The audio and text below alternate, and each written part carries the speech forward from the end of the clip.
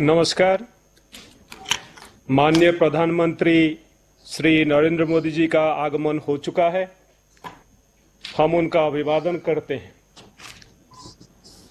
बुंदेलखंड क्षेत्र में राष्ट्रीय महत्व की संस्था रानी लक्ष्मीबाई केंद्रीय कृषि विश्वविद्यालय झांसी की स्थापना वर्ष 2014 में हुआ।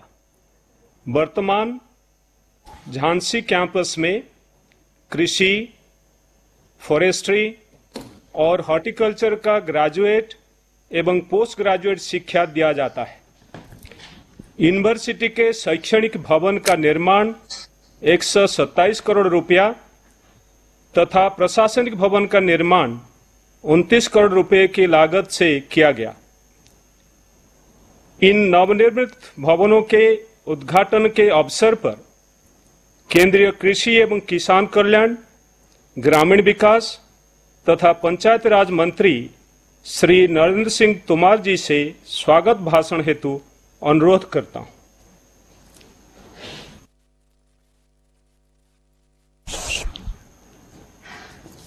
हम सबके लिए आज बहुत ही प्रसन्नता का क्षण है जब हमारे इस कार्यक्रम से माननीय प्रधानमंत्री नरेंद्र मोदी जी हम सबको मार्गदर्शन करने वाले हैं। इस अवसर पर उत्तर प्रदेश के माननीय मुख्यमंत्री श्री योगी आदित्यनाथ जी, हमारे झांसी क्षेत्र के सांसद श्रीमान अनुराग शर्मा जी, झांसी के स्थानीय विधायक Jawahar Singh ji, Rajeev Singh ji Biharilal Arya ji, Ravi Sharma ji, doctor Punjab Singh ji, doctor Mahapatra ji, doctor Sanjay Singh ji, doctor Arvind Kumar ji और इस कार्यक्रम से जुड़े देश भर के कृषि विश्वविद्यालयों के कुलपतिगण वैज्ञानिक गण और उपस्थित महानुभाव। काफ़ी लंबे समय से इस क्षण की प्रतीक्षा इस पूरे बुंदेलखंड अंचल को थी। आज वह क्षण आ गया है और रानी लक्ष्मीबाई केंद्रीय कृषि विश्वविद्यालय झांसी का लोकार्पण माननीय प्रधानमंत्री जी के कर कमलों से संपन्न होने जा रहा है। मैं इस अवसर पर सभी उपस्थित महानुभावों की ओर से, मंत्रालय की ओर से, माननीय प्रधानमंत्री जी का हृदय से बहुत बहुत स्वागत करता हूँ बहुत बहुत अभिनंदन करता हूँ। हम सबके लिए बहुत प्रसन्नता की बात है कि 2014 से पूरे देश को प्रधानमंत्री नरेंद्र मोदी जी का नेतृत्व प्राप्त है।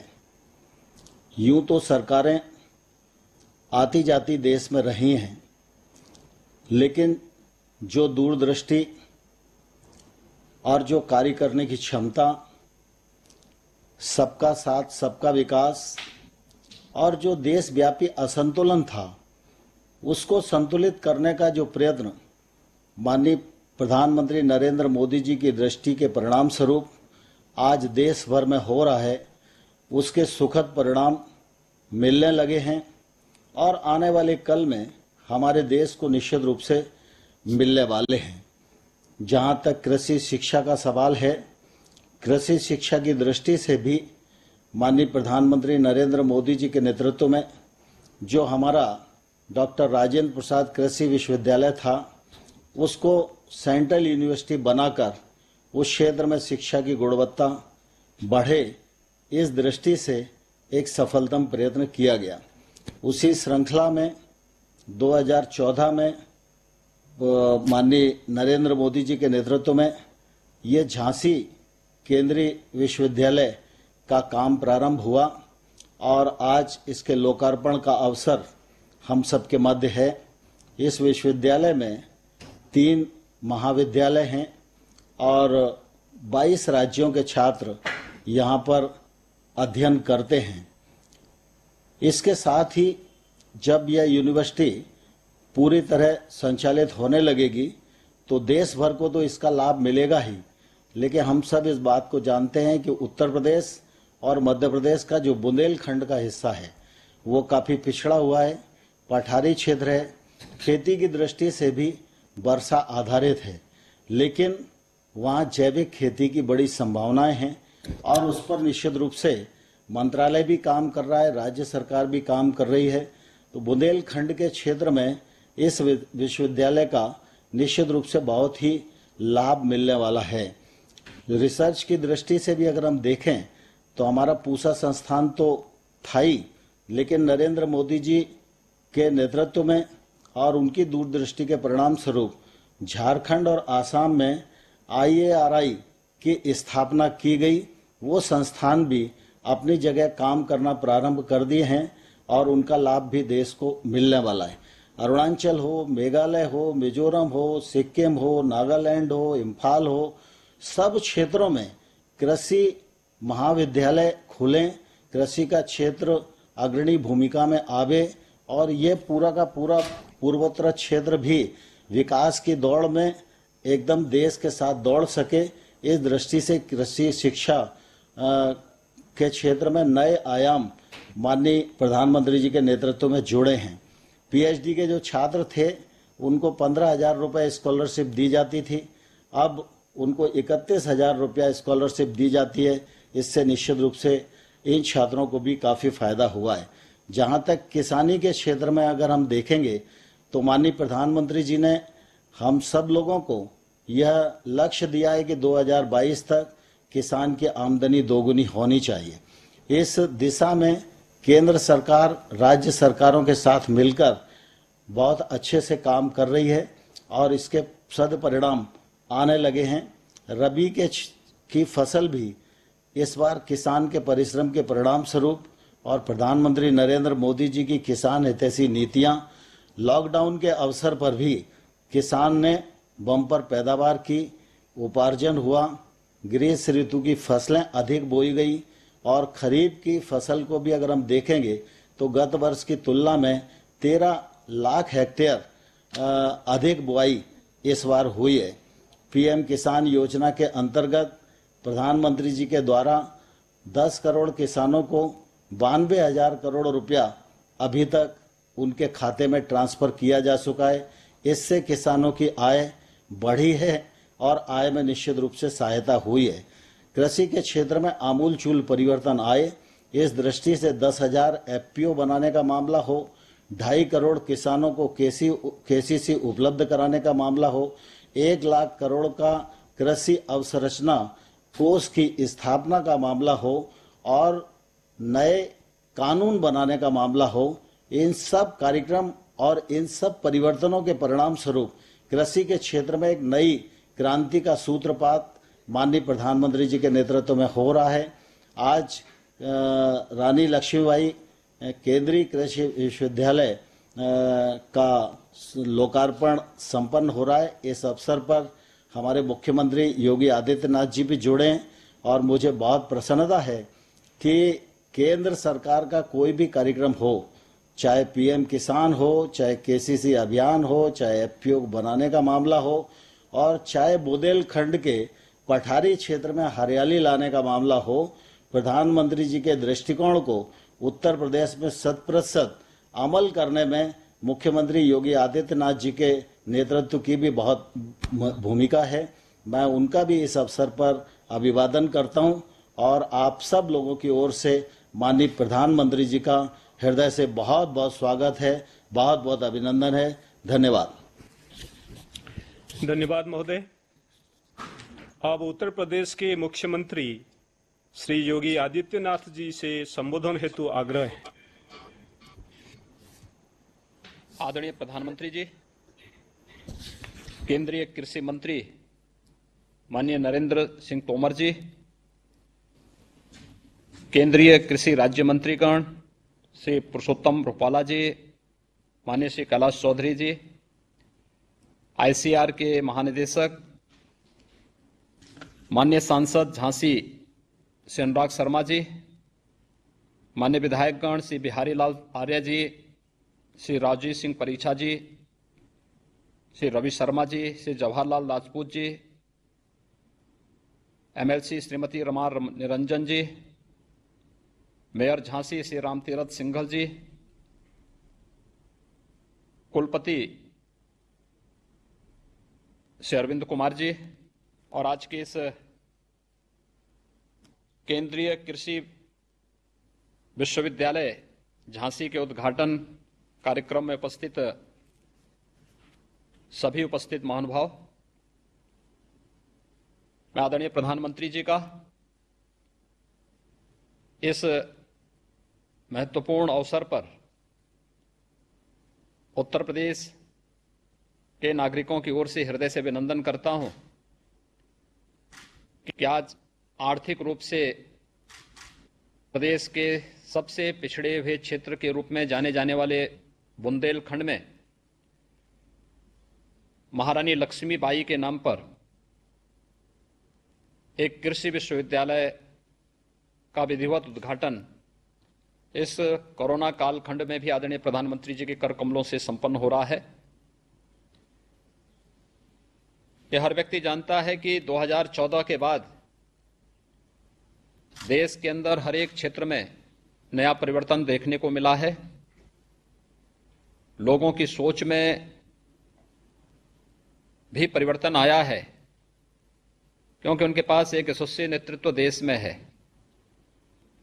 और कृषि क्षेत्र में किसानों की आमदनी को दोगुना करने, किसानों को तकनीक के साथ जोड़ने, उनकी बुनियादी समस्याओं का समाधान करने के लिए उन्हें जिस प्रकार की मदद शासन स्तर पर प्रारंभ हुई है। प्रधानमंत्री कृषि सिंचाई योजना के माध्यम से भी जिस प्रकार से व्यापक परिवर्तन देखने को मिला है और किसानों की आमदनी को न्यूनतम समर्थन मूल्य के माध्यम से कई गुना बढ़ोतरी करने में मदद मिली है। कृषि विज्ञान केंद्रों ने स्थानीय स्तर पर किसानों को तकनीक के साथ जोड़ने समय पे उन्हें उन्नत बीज उपलब्ध कराने में भी जो योगदान दिया है, ऐसी एक नई सोच का परिणाम है। मैं इस अवसर पर आदरणीय प्रधानमंत्री जी का अभिनंदन इसलिए भी करता हूँ कि बुंदेलखंड क्षेत्र, जिसमें उत्तर प्रदेश के सात जनपद आते हैं, और मध्य प्रदेश राज्य के भी कुछ जनपद आते हैं, यह प्रतिवर्ष सूखा की चपेट में होता था। लेकिन प्रधानमंत्री कृषि सिंचाई योजना की परियोजनाओं के समयबद्ध ढंग से आगे बढ़ने के परिणाम स्वरूप आज काफ़ी हद तक इस समस्या का समाधान करने में हमें मदद मिली है।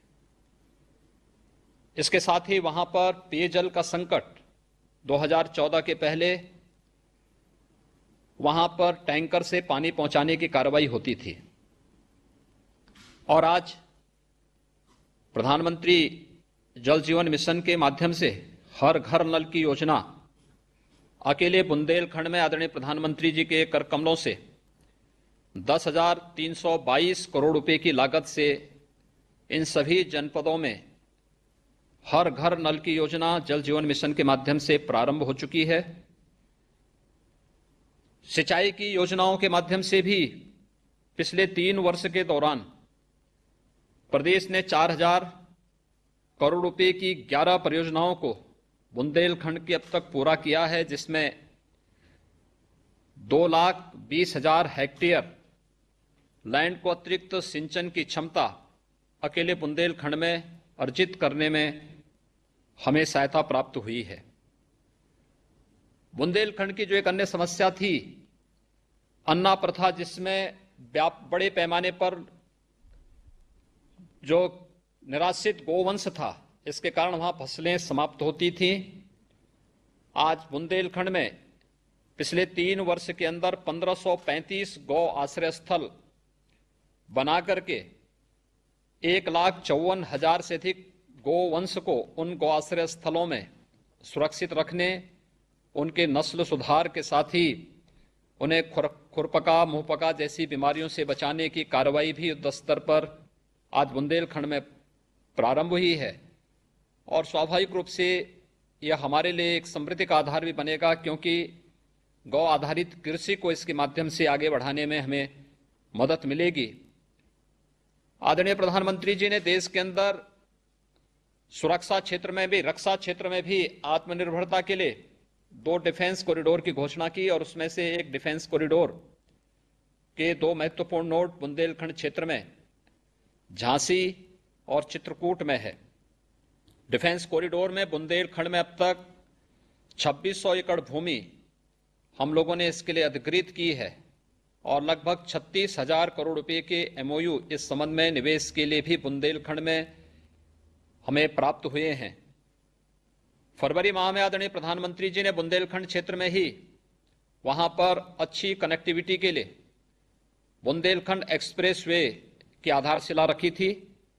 और मुझे प्रसन्नता है कि यह बताते हुए प्रसन्नता हो रही है कि दो सौ छियानवे किलोमीटर का यह एक्सप्रेस वे अब तक लगभग 15 प्रतिशत के अपने कार्य को तेज़ी के साथ आगे बढ़ाने में सफल हुआ है और 10 प्रतिशत का जो एक माइलस्टोन था हमारे सामने, हम उसको समय से इस कोरोना कालखंड में भी उस लक्ष्य को प्राप्त करने में हमें मदद मिलेगी।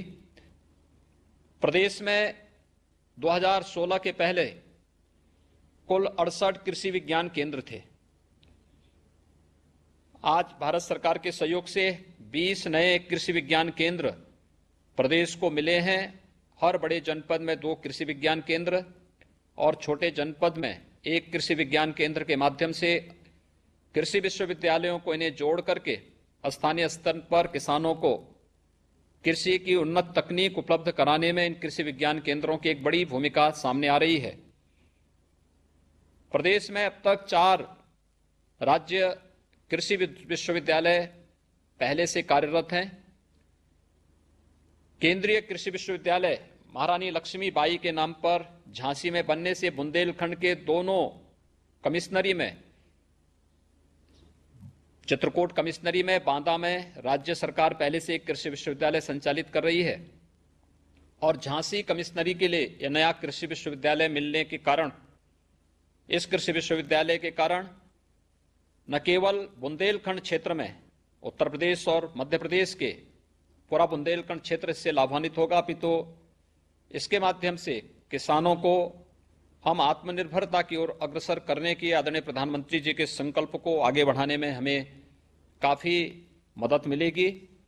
आज कोरोना कालखंड में वर्चुअल उद्घाटन के माध्यम से आदरणीय प्रधानमंत्री जी का मार्गदर्शन कृषि वैज्ञानिकों को, कृषि से जुड़े हुए छात्रों को और बुंदेलखंड वासियों को प्राप्त हो रहा है। मैं इस अवसर पर एक बार फिर से इस अवसर पर आदरणीय प्रधानमंत्री जी का हृदय से अभिनंदन करता हूँ और इस बात के लिए विश्वास दिलाता हूँ कि उत्तर प्रदेश, आत्मनिर्भर भारत की उनकी संकल्पना में पूरी प्रतिबद्धता के साथ बढ़कर के कार्य करेगा। इस कार्यक्रम को आयोजित करने के लिए केंद्रीय कृषि मंत्री जी का, आईसीएआर के सभी पदाधिकारियों का और रानी लक्ष्मीबाई केंद्रीय कृषि विश्वविद्यालय, झांसी के कुलपति जी और उनके पूरे विश्वविद्यालय परिवार को हृदय से बधाई देते हुए उन सब के प्रति भी हृदय से धन्यवाद ज्ञापित करता हूँ। धन्यवाद। धन्यवाद महोदय। मैं माननीय प्रधानमंत्री जी से आग्रह करता हूँ कि कृपया रानी लक्ष्मीबाई केंद्रीय कृषि विश्वविद्यालय झांसी के शैक्षणिक एवं प्रशासनिक भवनों का उद्घाटन करने की कृपा करें। खड़े होना पड़ेगा।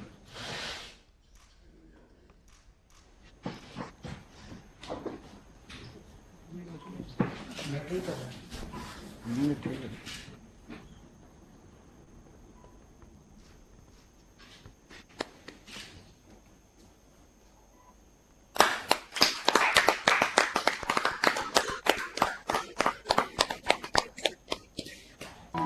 रानी लक्ष्मीबाई केंद्रीय कृषि विश्वविद्यालय की स्थापना वर्ष 2014 में संसद द्वारा पारित अधिनियम के अंतर्गत राष्ट्रीय महत्व के संस्था के रूप में वीरांगना रानी लक्ष्मीबाई के नाम से प्रसिद्ध झांसी में हुई। विश्वविद्यालय लगभग 300 एकड़ के क्षेत्र में विस्तारित है। ये विश्वविद्यालय न केवल बुंदेलखंड, अपितु देश के विभिन्न राज्यों के विद्यार्थियों को गुणवत्ता युक्त कृषि शिक्षा, अनुसंधान व किसानों को तकनीकी प्रशिक्षण प्रदान करने के लिए प्रतिबद्ध है। साथ ही साथ, यहाँ उन्नत बीज भी उपलब्ध हो रहा है। इसके साथ ही पशु चिकित्सा एवं मत्स्य महाविद्यालय की स्थापना भी इसी विश्वविद्यालय के अंतर्गत दतिया में की जा रही है। दलहनी एवं तिलहनी फ़सलों के अनुसंधान का ये विशिष्ट केंद्र है और यहाँ दक्षता युक्त शिक्षा भी दी जा रही है। इस विश्वविद्यालय के दो नवनिर्मित शैक्षणिक एवं प्रशासनिक भवनों का निर्माण कार्य नवंबर 2017 से प्रारंभ होकर लगभग दो वर्षों की अवधि में ही NBCC द्वारा पूर्ण कर लिया गया शैक्षणिक भवन का कुल क्षेत्रफल लगभग 17,500 वर्ग मीटर है जिसमें 19 स्मार्ट क्लासरूम सहित विद्यार्थियों के लिए 23 शोध प्रयोगशालाएँ भी उपलब्ध हैं। इसके साथ ही ये भवन सर्व सुविधा युक्त बहुउद्देशीय हॉल एवं सेमिनार हॉल से सुसज्जित है। प्रशासनिक भवन लगभग 5000 वर्ग मीटर क्षेत्र में निर्मित है, जिसमें समिति कक्ष एवं बोर्ड रूम जैसी सभी महत्वपूर्ण सुविधाएँ उपलब्ध हैं।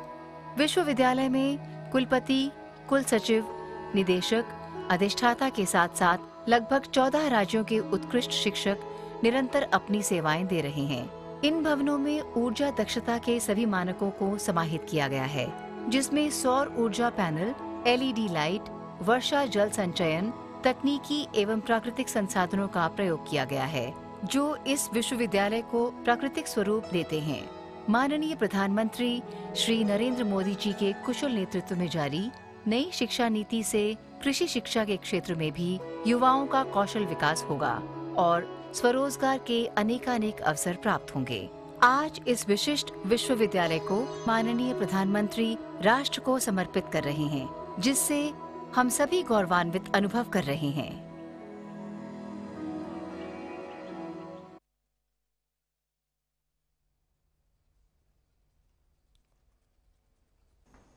अब मैं डॉक्टर अरविंद कुमार, कुलपति रानी लक्ष्मीबाई केंद्रीय कृषि विश्वविद्यालय से आग्रह करता हूँ कि विद्यार्थी, विद्यार्थियों से सम्मान्य प्रधानमंत्री जी का परिचर्चा का संचालन करें। नमस्कार। माननीय प्रधानमंत्री जी,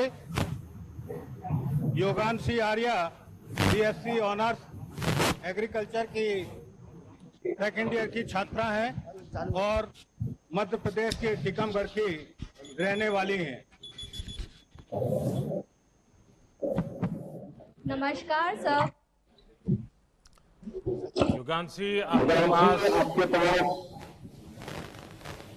कई ऑप्शन हो सकते हैं। आपके सारे जो साथी, मित्र होंगे, मैं नहीं मानता हूँ कि इस प्रकार के विषय पढ़ने के लिए आपके सब साथियों को अच्छा लगता होगा। लेकिन आपने इस दुनिया को चुना कृषि के क्षेत्र में आगे बढ़ने का तय किया, ऐसा क्यों किया?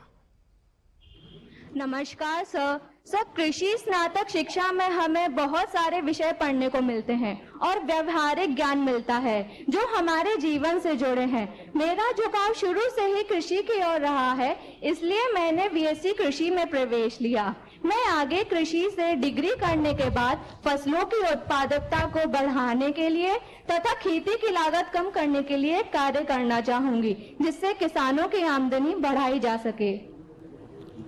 आपने कभी सोचा होगा कि भारत कृषि प्रधान देश है? भारत की आत्मा गाँव में बसती है। उसके बावजूद भी बहुत सी सारी कृषि पैदाश ऐसी हैं जो भारत इंपोर्ट करता है। आप सभी कृषि क्षेत्र के विद्यार्थी हैं। आज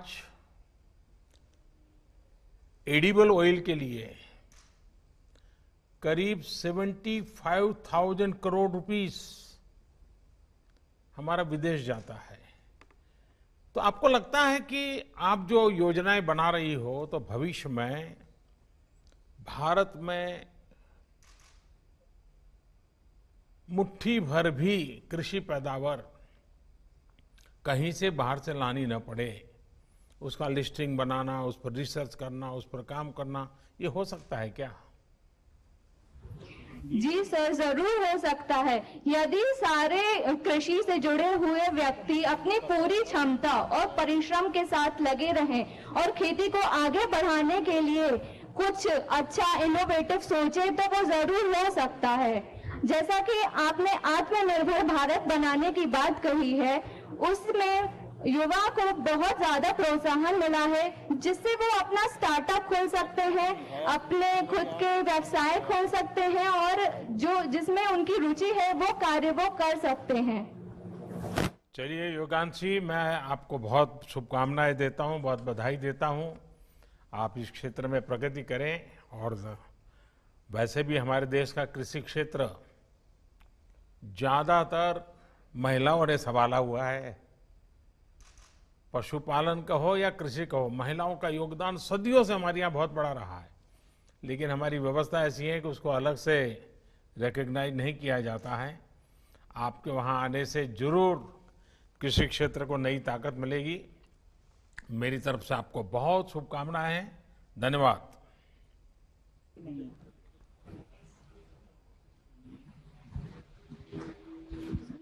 नरेंद्र सेन तेईस साल के नरेंद्र बीएससी ऑनर्स हॉर्टिकल्चर के चौथे वर्ष के विद्यार्थी हैं।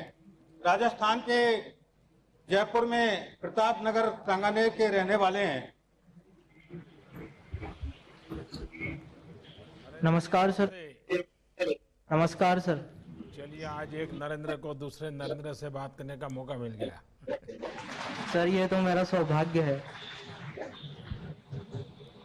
अच्छा नरेंद्र जी बताइए, आप तो जयपुर के रहने वाले और इधर बुंदेलखंड में आकर के बैठे हो और हॉर्टिकल्चर के लिए पढ़ रहे हो और बुंदेलखंड तो पानी के अभाव के कारण जाने जाना वाला इलाका है। आपको इन, आपका राजस्थान, आपका जयपुर और ये क्या क्या महसूस कर रहे हैं आप? जयपुर के आसपास का क्षेत्र प्रोटेक्टेड कल्टीवेशन की ज़्यादा वहाँ पर ये इस्तेमाल होता है, जबकि यहाँ पर अभी इतना प्रयोग नहीं है, परंपरागत खेती ही होती है इधर। और राजस्थान में मसालों की ज़्यादा खेती होती है, जबकि बुंदेलखंड, तिलहन और दलहन का प्रमुख क्षेत्र है सर। आपको क्या लगता है कि आप, जब ये हॉर्टिकल्चर में जा रहे हैं, अब फल तो सीजनल होते हैं, और इनको लंबे समय तक स्टोरेज करना भी बहुत मुश्किल होता है। फल, सब्ज़ी की प्रोसेसिंग और वैल्यू एडिशन इससे जुड़े सेक्टर में आप पढ़ाई कर रहे हैं तो आपको क्या लगता है, आप क्या कंट्रीब्यूट कर पाएँगे, क्या बदलाव ला सकते हैं? सर, हमने हमारी पढ़ाई के दौरान फलों और सब्जियों की प्रोसेसिंग से संबंधित विभिन्न विधियाँ बहुत विस्तार से पढ़ी हैं और अपने विश्वविद्यालय और उद्योगों से जुड़कर प्रायोगिक शिक्षा भी प्राप्त करी है। और स्टूडेंट रेडी कार्यक्रम के तहत हमने व्यावसायिक शिक्षा भी प्राप्त करी है, जिसके साथ ही हम स्टार्टअप शुरू करके आत्मनिर्भर भारत के निर्माण में अपना योगदान दे सकते हैं। आपके यहाँ कभी चर्चा हुई क्या? जैसे हमारे देश में इन दिनों ड्रैगन फ्रूट यानी बड़े बड़े घरों में बड़ी बड़ी होटल में आमतौर पर डाइनिंग टेबल पर देखा जाता है, फल खाया जाता है। पिछले दिनों हमारे कच्छ के किसानों ने रेगिस्तान में ड्रैगन फ्रूट की खेती करके एक बहुत बड़ा कमाल किया है। और मैंने तो टेस्ट किया है, बहुत ही शायद मैंने आज तक तो जितने ड्रैगन फ्रूट खाए हैं, उसमें मुझे कच्छ से जो बनाए किसानों ने मेहनत करके तैयार किया है, सचमुच में क्वालिटेटिवली बहुत बड़ा फ़र्क नज़र आ रहा है अच्छा लग रहा है। आपको लगता है कि ऐसे कुछ चीज़ें हैं जो भारत बाहर से न लाए, हमें यहाँ उत्पादन करने के लिए हम प्रेरित कर सकते हैं? जी सर बिल्कुल। अगर हम सब साथ सारे विश्वविद्यालय साथ मिलकर अगर प्रयास करें तो ये बिल्कुल संभव है सर। चलिए आप बहुत आशावादी हैं। नरेंद्र जी मेरी आपको बहुत शुभकामनाएँ हैं। धन्यवाद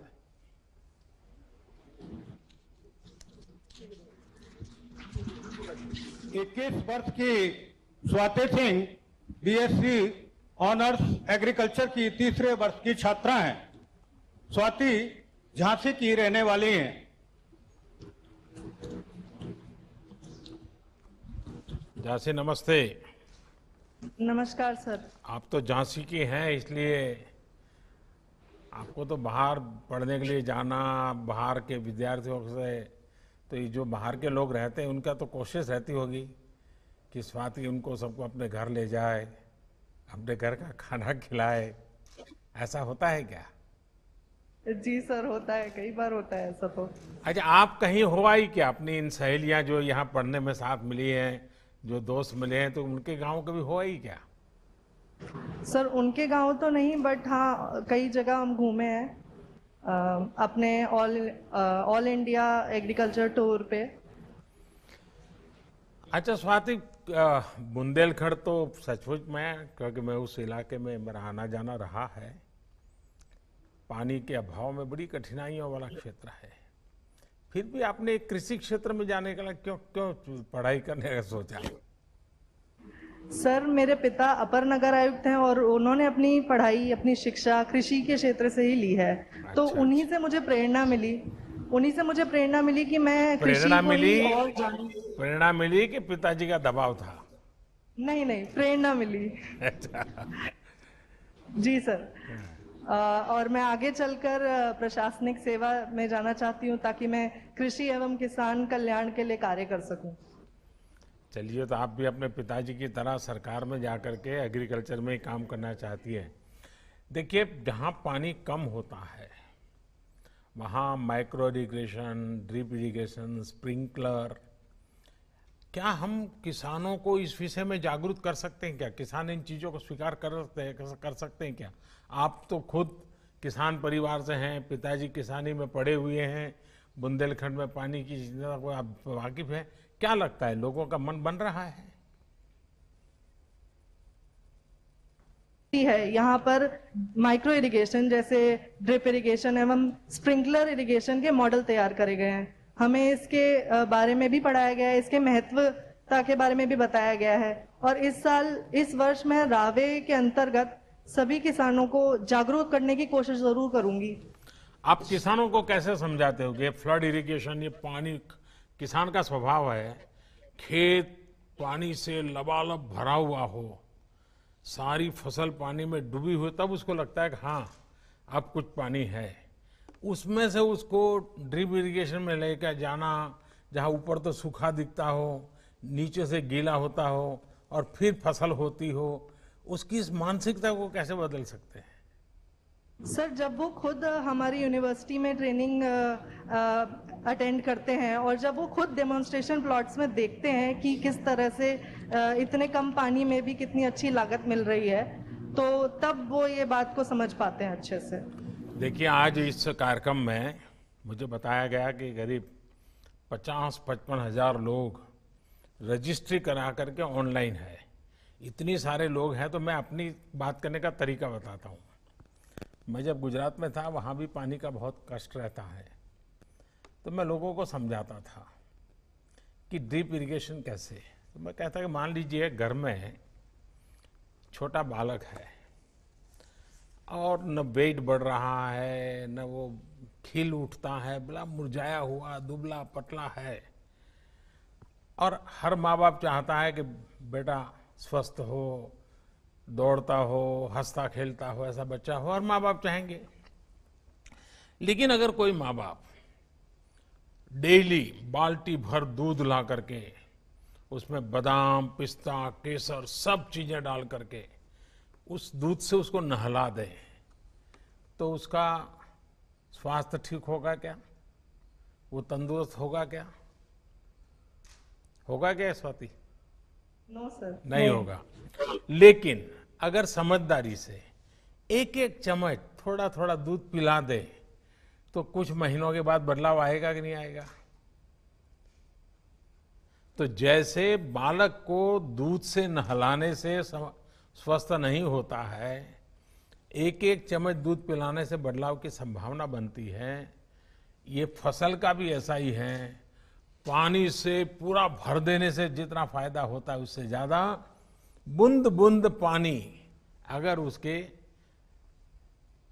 मिलती हैं तो फ़सल बहुत बढ़िया बनती है। ये बात बड़े सरल शब्दों में लोगों को समझानी चाहिए और पानी की रिसाइकलिंग हो, बरसात के पानी को कैसे ज़मीन के नीचे स्टोर किया जाए, इसके लिए जो आधुनिक और कम खर्च वाली तकनीक है उनके बारे में जानकारी सामान्य जन तक पहुंचाना ज़रूरी है। अगर आप इसराइल की वेबसाइटें देखेंगे वहाँ के एग्रीकल्चर की, बुंदेलखंड को वहाँ के कई मॉडल काम आ सकते हैं।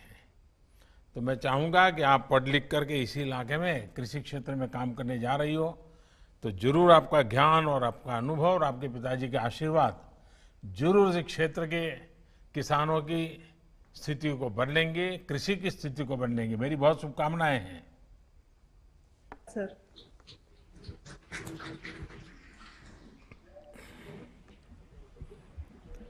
बाईस वर्ष के मयंक जैन बीएससी ऑनर्स वानिकी चौथे वर्ष के छात्र हैं और मध्य प्रदेश छतरपुर के रहने वाले हैं।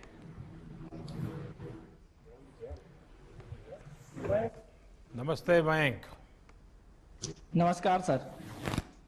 तो ये वानिकी ये फॉरेस्ट्री की छात्र कैसे बन गए आप?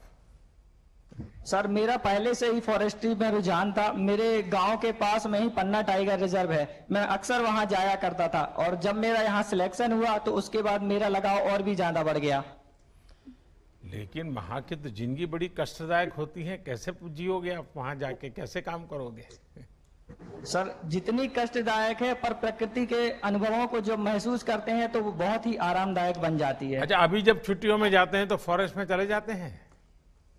यस सर बिल्कुल। और कौन से कौन से फॉरेस्ट देखे हैं आपने हिंदुस्तान में?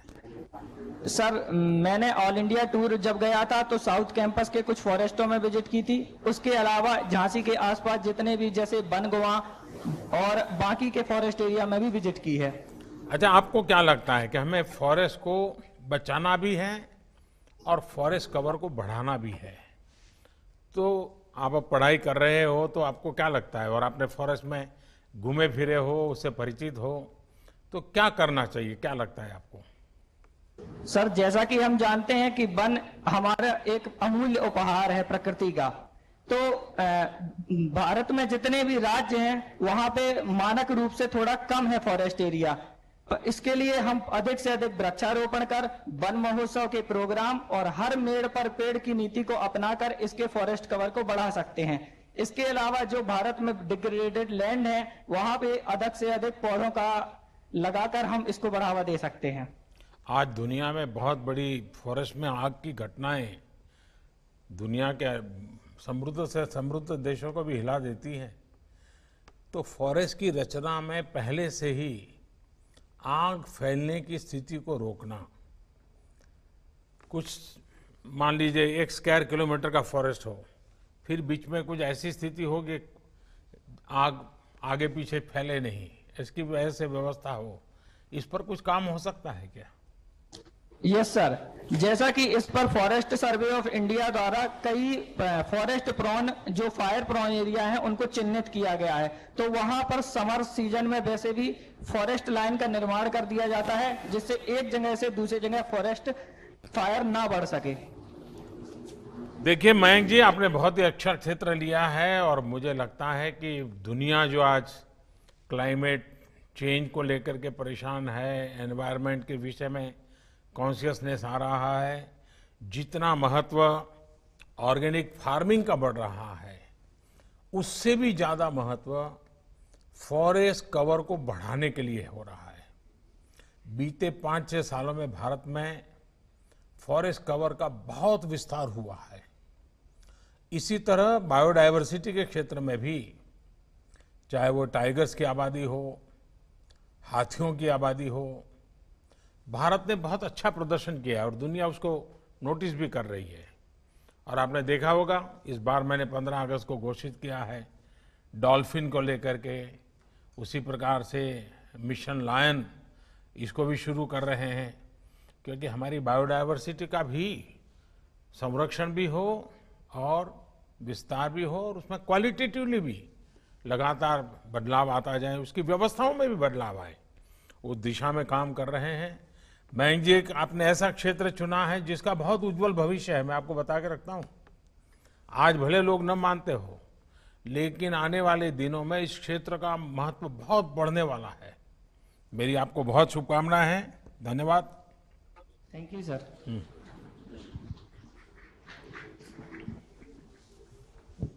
बाईस वर्ष के टोनी मनोज कुमार नंदी पामू आंध्र प्रदेश के कृष्णा ज़िले के रहने वाले हैं। यहाँ पर यह एम एमएससी एजी सत्य विज्ञान दूसरे वर्ष के छात्र हैं। नमस्कार। नमस्ते क्या शुभ नाम आपका? Tony Manoj Kumar sir. नहीं नहीं टोनी नाम है या मनोज कुमार नाम है? सर मेरा पहला नाम टोनी है सर। टोनी आप टॉनी गारू है? यस सर ये आपने लोगों के यहाँ सिखाया कि नहीं सिखाया? झांसी में कि गारू क्या होता है? सिखाते हैं सर। आज आज इस मौके में आपको बताना चाहता हूँ आज राष्ट्रीय तेलुगु भाषा दिवस है सर। इसकी इसकी दौर पर आपको तेलुगु में बोलना चाहता हूँ। ज़रूर बोलिए मुझे अच्छा लगेगा। गौरवनीय प्रधानमंत्री गारू नमस्कारम सर। नमस्कारम नमस्कारम।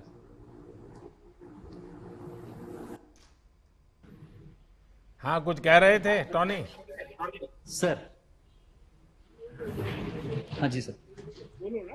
सर आपको सर తెలుగు में बोल सकता हूँ सर हाँ बोलिए बोलिए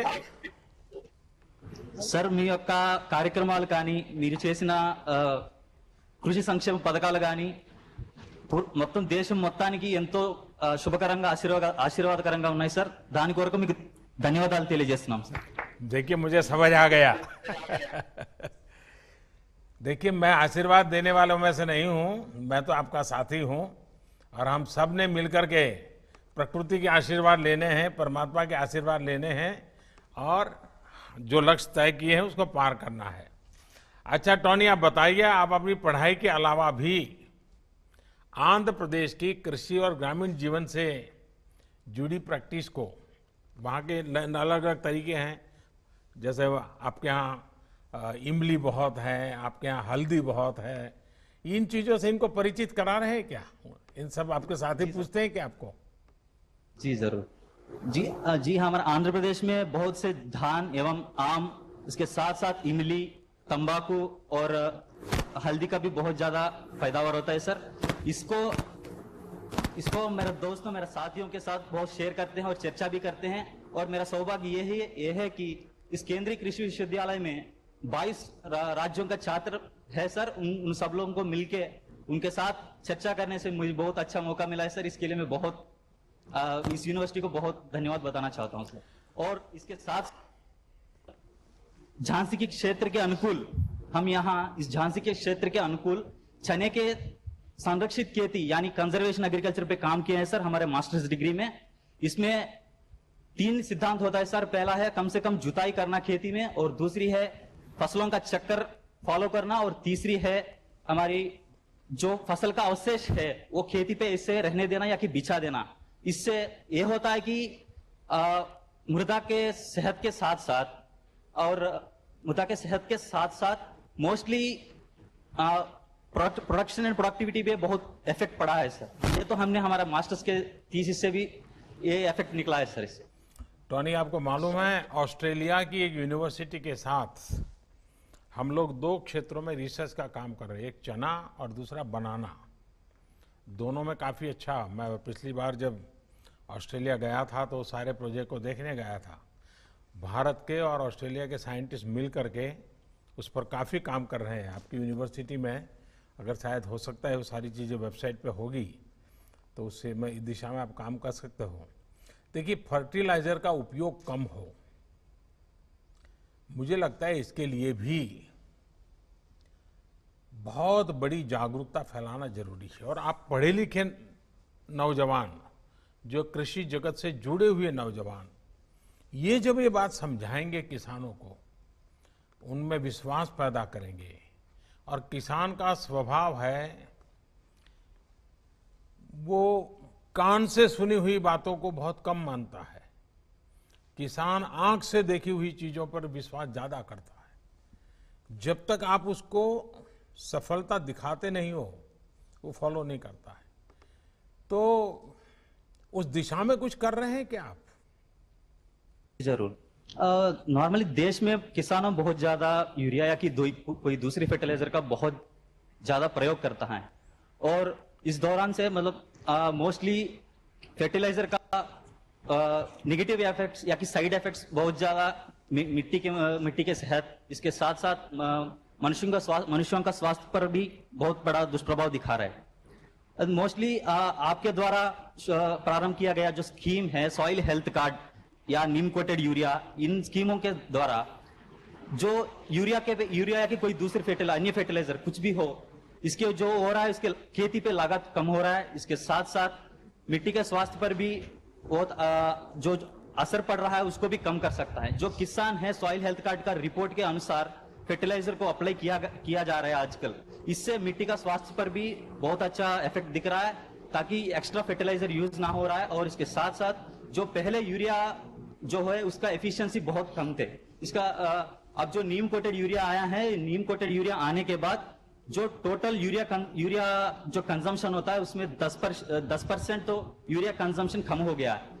इस इस इस एरिया में जो सॉइल हेल्थ कार्ड जो बहुत अच्छा सक्सेसफुल स्कीम हुआ है और इसके लिए हम बहुत खुश हैं सर। देखिए मैं सभी एग्रीकल्चर से जुड़े लोगों से ज़रूर कहना चाहूँगा और टोनी आप भी अपने साथियों को बता सकते हैं ऑर्गेनिक फ़ार्मिंग और ऑर्गेनिक एग्रीकल्चर प्रोडक्ट्स ये दुनिया में उसकी बहुत मांग है, बहुत वैल्यू है। भारत के लोगों को ये ये चीज़ें हस्तगत है। मैंने, हम सदियों से इसी के आदि थे। बीच में ही हम थोड़ी गाड़ी डिरेल हो गई है। हम बहुत तेज़ी से इसको अडॉप्ट कर सकते हैं। उसी प्रकार से आपने देखा होगा, इन दिनों प्रयोग चल रहे हैं ज़ीरो बजट फ़ार्मिंग बहुत आसानी से किसान इसको बढ़ाया जा सकता है। और मैं चाहूँगा कि जितनी बड़ी मात्रा में हमारा देश हमारे किसान ऑर्गेनिक फ़ार्मिंग पे जाएँ और ऑर्गेनिक फार्म प्रोडक्ट्स को एक ग्लोबल मार्केट के लिए हम तैयार करें बहुत बड़ा परिवर्तन मिलेगा। टॉनी मेरी आपको बहुत शुभकामनाएँ हैं। आपको आपके साथियों को सफलता मिले। धन्यवाद। धन्यवाद सर। धन्यवाद महोदय सम्मान्य प्रधानमंत्री प्रधानमंत्री जी को मार्गदर्शन एवं आशीर्वचन देने के लिए सादर आमंत्रित करता हूँ। हमारे देश के कृषि मंत्री श्रीमान नरेंद्र सिंह जी तोमर, केंद्रीय मंत्रिपरिषद के मेरे अन्य साथी, उत्तर प्रदेश के मुख्यमंत्री योगी आदित्यनाथ जी अन्य अतिथिगण, सभी विद्यार्थी मित्र, और देश के हर कोने से जुड़े हुए इस वर्चुअल समारोह में उपस्थित सभी मेरे प्यारे भाई और बहनों, रानी लक्ष्मीबाई केंद्रीय कृषि विश्वविद्यालय के नए शैक्षणिक और प्रशासनिक भवन के लिए मैं आप सभी को बहुत बहुत बधाई देता हूँ, बहुत शुभकामनाएँ देता हूँ। यहाँ से पढ़कर बहुत कुछ सीख करके निकलने वाली युवा साथी, देश के कृषि क्षेत्र को सशक्त करने का काम करेंगे।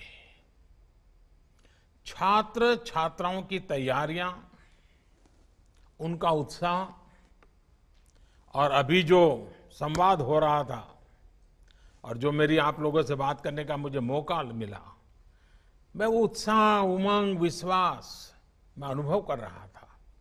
ये दिखाई दिया। मुझे विश्वास है कि इस नए भवन के बनने से अनेक नई सुविधाएँ मिलेगी। इन सुविधाओं से स्टूडेंट को और ज़्यादा काम करने की प्रेरणा मिलेगी, और ज़्यादा प्रोत्साहन मिलेगा। साथियों, कभी रानी लक्ष्मीबाई ने बुंदेलखंड की धरती पर गर्जना की थी, मैं मेरी झांसी नहीं दूँगी। हम सबको ये वाक्य बराबर याद है। मैं मेरी झांसी नहीं दूँगी। आज एक नई गर्जना की आवश्यकता है और उसी, इसी झांसी से, इसी बुंदेलखंड की धरती से आवश्यकता है। मेरी झांसी, मेरा बुंदेलखंड आत्मनिर्भर भारत अभियान को सफल बनाने के लिए पूरी ताकत लगा देगा। एक नया अध्याय लिखेगा। इसमें बहुत बड़ी भूमिका कृषि की है एग्रीकल्चर की है।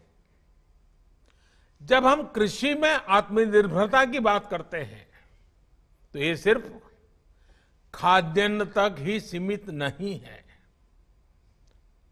बल्कि ये गाँव की पूरी अर्थव्यवस्था की आत्मनिर्भरता की बात है। ये देश के अलग अलग हिस्सों में खेती से पैदा होने वाले उत्पादों में वैल्यू एडिशन करके देश और दुनिया के बाजारों में पहुँचाने का मिशन है। कृषि में आत्मनिर्भरता का लक्ष्य किसानों को एक उत्पादक के साथ ही उद्यमी बनाने का भी है। जब किसान और खेती, उद्योग की भांति आगे बढ़ेगी तो बड़े स्तर पर गाँव में और गाँव के पास ही रोज़गार और स्वरोजगार के अवसर तैयार होने वाले हैं। साथियों, इस समय और जब हम इस संकल्प के साथ ही हाल में कृषि से जुड़े ऐतिहासिक रिफॉर्म्स ये सरकार लगातार कर रही है, कई रिफॉर्म्स किए गए हैं। भारत में किसान को बंदिशों में जकड़ने वाली कानूनी व्यवस्थाएँ, मंडी कानून जैसा, और आवश्यक वस्तु कानून इन सब में बहुत बड़ा सुधार किया गया है। इससे किसान अब बाकी उद्योगों की तरह पूरे देश में मंडियों से बाहर भी जहाँ उसको ज़्यादा दाम मिलते हैं, वहाँ अपनी उपज बेच सकेगा। इतना ही नहीं, गाँव के पास उद्योगों के क्लस्टर बनाने की व्यापक योजना बनाई गई है। इन उद्योगों को बेहतर इंफ्रास्ट्रक्चर की सुविधा मिले। इसके लिए एक लाख करोड़ रुपए का विशेष फंड बनाया गया है। इस फंड के माध्यम से हमारे कृषि उत्पादक संघ, हमारे एफपीओस अब भंडारण से जुड़ा आधुनिक इंफ्रास्ट्रक्चर भी तैयार कर पाएँगे। और प्रोसेसिंग से जुड़े उद्योग भी लगा पाएँगे। इससे कृषि क्षेत्र में पढ़ाई करने वाले युवाओं और उनके सभी साथ इन सबको नए अवसर मिलेंगे, नए स्टार्टअप्स के लिए रास्ते बनेंगे। साथियों आज बीज से लेकर के बाज़ार तक खेती को टेक्नोलॉजी से जोड़ने का, आधुनिक रिसर्च के फायदों को जोड़ने का निरंतर काम किया जा रहा है। इसमें बहुत बड़ी भूमिका रिसर्च संस्थानों और कृषि विश्वविद्यालयों की भी है। छह साल पहले की ही बात करें तो जहाँ देश में सिर्फ़ एक केंद्रीय कृषि विद्यालय था, विश्वविद्यालय था, आज तीन तीन सेंट्रल एग्रीकल्चर यूनिवर्सिटीज देश में कार्यरत है।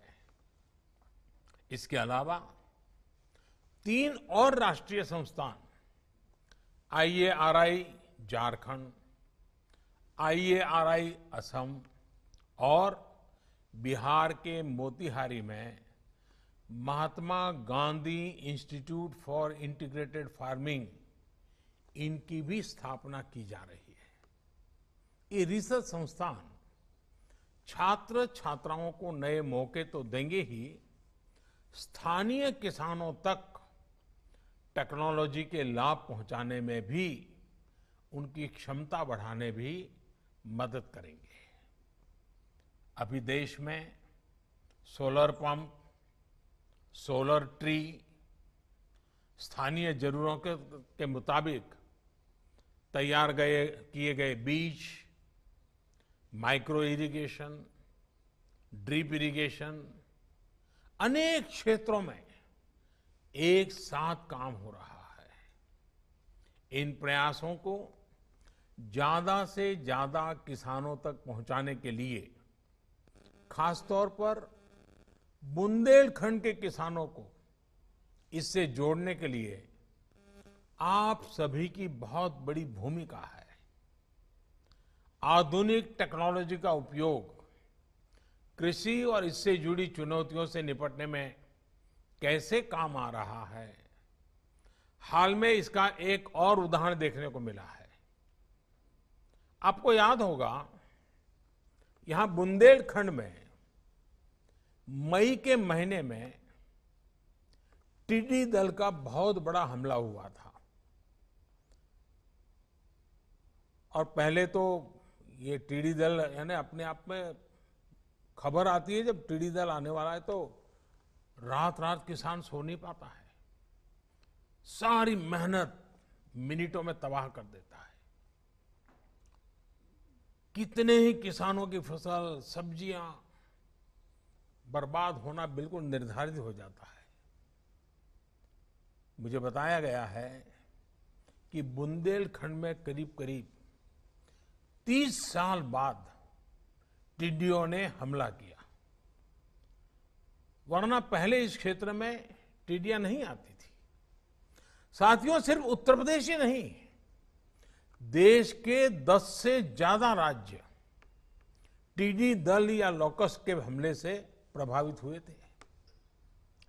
जितनी तेज़ी से ये फैल रहा था, उस पर सामान्य तौर तरीकों, पारंपरिक माध्यमों से नियंत्रण पाना बहुत मुश्किल था। और जिस प्रकार से भारत ने ये टीडी दल से मुक्ति पाई है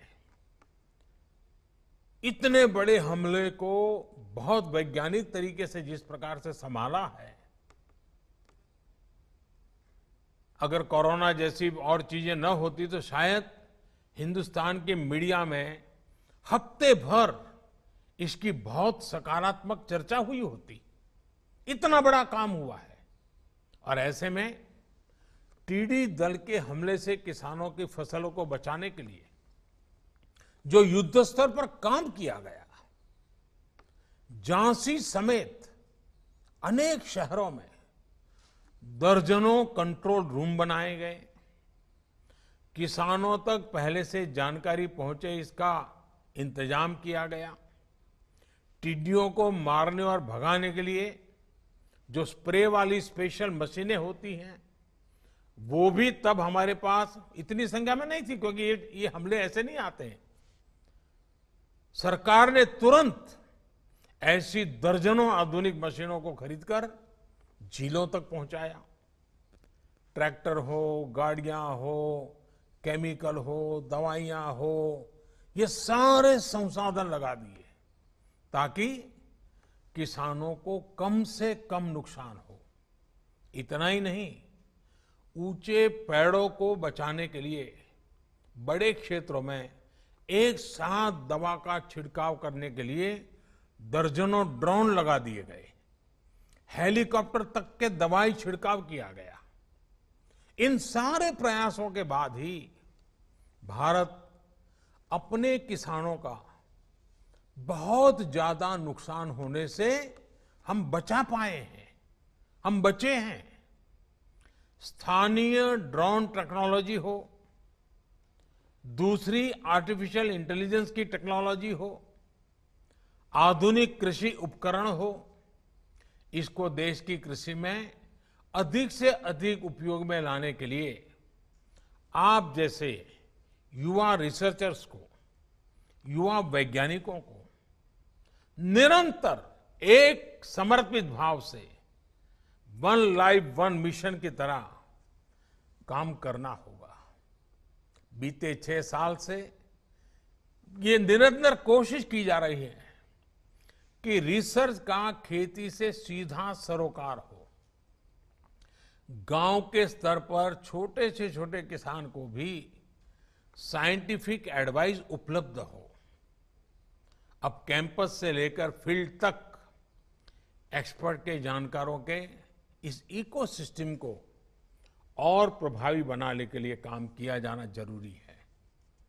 इसमें आपके विश्वविद्यालय की भी बहुत बड़ी भूमिका है। साथियों, कृषि से जुड़ी शिक्षा को, उसकी प्रैक्टिकल एप्लीकेशन को स्कूल स्तर पर ले जाना भी आवश्यक है। प्रयास है कि गाँव के स्तर पर मिडिल स्कूल लेवल पर ही कृषि के विषय को इंट्रोड्यूस किया जाए। इससे दो लाभ होंगे।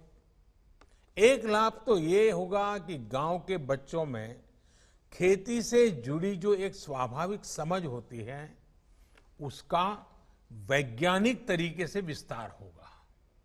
दूसरा दूसरा लाभ ये होगा कि वो खेती और इससे जुड़ी तकनीक, व्यापार, कारोबार, इसके बारे में अपने परिवार को ज़्यादा जानकारी दे पाएँगे। इससे देश में एग्रो एंटरप्राइज को भी और बढ़ावा मिलेगा। नई राष्ट्रीय शिक्षा नीति में, नेशनल एजुकेशन पॉलिसी में, इसके लिए भी अनेक ज़रूरी रिफॉर्म्स किए गए हैं।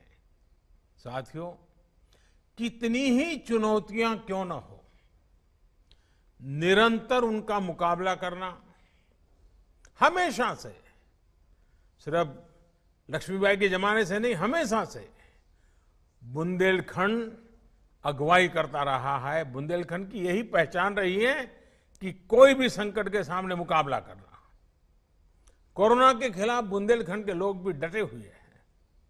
सरकार ने भी प्रयास किया है कि लोगों को कम से कम दिक्कत हो।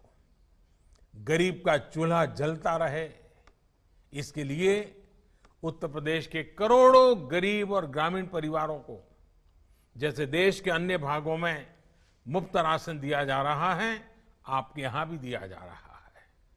बुंदेलखंड की करीब करीब 10 लाख गरीब बहनों को इस दौरान मुफ़्त गैस सिलेंडर दिए गए हैं।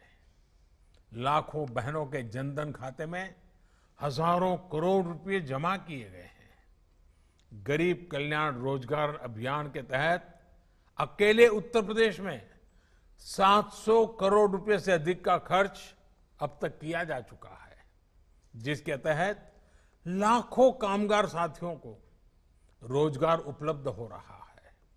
मुझे बताया गया है कि इस अभियान के तहत यहाँ बुंदेलखंड में भी सैकड़ों तालाबों को ठीक करने और नए तालाब बनाने का काम किया गया है। साथियों, चुनाव से पहले जब मैं झांसी आया था, तब मैंने बुंदेलखंड की बहनों से कहा था कि बीते पाँच वर्ष शौचालय के लिए थे और आने वाले पाँच वर्ष पानी के लिए होंगे। बहनों के आशीर्वाद से हर घर जल पहुँचाने का अभियान तेज़ी से आगे बढ़ रहा है। यूपी और एमपी में ये बुंदेलखंड फैला हुआ है। ये बुंदेलखंड के सभी जिलों में पानी के स्रोतों का निर्माण करने और पाइपलाइन बिछाने का काम निरंतर जारी है। इस क्षेत्र में दस हज़ार करोड़ रुपए से अधिक की करीब 500 जल परियोजनाओं की स्वीकृति दी जा चुकी है। पिछले दो महीने में इनमें से करीब करीब तीन हज़ार करोड़ रुपए की परियोजनाओं पर काम शुरू भी हो चुका है। जब ये तैयार हो जाएगी तो इससे बुंदेलखंड के लाखों परिवारों को सीधा लाभ होगा। इतना ही नहीं, बुंदेलखंड में भूजल के स्तर को ऊपर उठाने के लिए अटल भूजल योजना पर भी काम चल रहा है झांसी, महोबा, बांदा, हमीरपुर, चित्रकूट और ललितपुर। इसके साथ साथ पश्चिम यूपी के सैकड़ों गाँवों में जल स्तर को सुधारने के लिए 700 करोड़ रुपए से अधिक की योजना पर काम जारी है। साथियों, बुंदेलखंड के एक और बेतवा बहती है और दूसरी ओर केन नदी बहती है? उत्तर दिशा में माँ यमुना जी हैं, लेकिन स्थितियाँ ऐसी हैं कि नदियों के पानी का पूरा लाभ पूरे क्षेत्रों को नहीं मिल पाता है। इस स्थिति को बदलने के लिए भी केंद्र सरकार निरंतर प्रयास कर रही है। केन बेतवा नदी लिंक परियोजना में इस क्षेत्र के भाग्य को बदलने की बहुत ताकत है। इस दिशा में हम दोनों राज्य सरकारों के साथ लगातार संपर्क में हैं, काम कर रहे हैं। मुझे पूरा विश्वास है कि एक बार जब बुंदेलखंड को पर्याप्त जल मिलेगा तो यहाँ जीवन पूरी तरह से बदल जाएगा। बुंदेलखंड एक्सप्रेसवे हो या फिर डिफेंस कॉरिडोर, हज़ारों करोड़ रुपए के प्रोजेक्ट भी यहाँ रोज़गार के हज़ारों नए अवसर बनाने का काम करेंगे। वो दिन दूर नहीं, जब वीरों की ये भूमि, झांसी और इसके आसपास का ये पूरा क्षेत्र देश को रक्षा क्षेत्र में आत्मनिर्भर बनाने के लिए एक बड़ा क्षेत्र विकसित हो जाएगा। यानी एक तरह से बुंदेलखंड में जय जवान, जय किसान और जय विज्ञान का मंत्र चारों दिशाओं में गूंजेगा। केंद्र सरकार और उत्तर प्रदेश की सरकार बुंदेलखंड की पुरातन पहचान को, इस धरती के गौरव को समृद्ध करने के लिए प्रतिबद्ध है। भविष्य की मंगल कामनाओं के साथ एक बार फिर यूनिवर्सिटी के नए भवन की आप सबको बहुत बहुत बधाई। दो गज की दूरी, मास्क है ज़रूरी। इस मंत्र को आप हमेशा याद रखिए। आप सुरक्षित रहेंगे तो देश सुरक्षित रहेगा। आप सभी का बहुत बहुत आभार। धन्यवाद।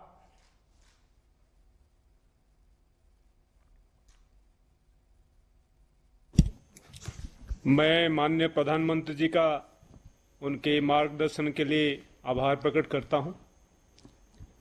मैं उत्तर प्रदेश के मुख्यमंत्री जी, श्री योगी आदित्य, आदित्यनाथ जी का भी आभार प्रकट करता हूँ।